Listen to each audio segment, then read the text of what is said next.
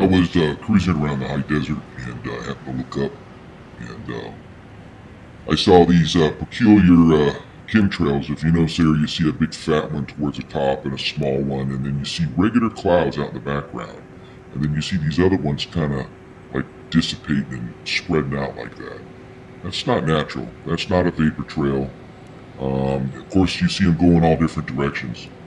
Anyway, I done a little research and uh, looked into this Skyder Alert app. If you have a uh, iPhone, I would suggest you get it. Take photographs, and what it does, it notifies, you know, certain uh, public officials and stuff that hey, you know, we're not putting up with this.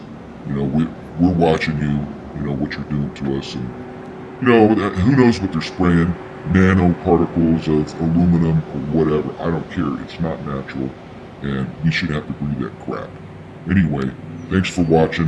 Have a good day, and uh, hopefully I'll find some more evidence on this.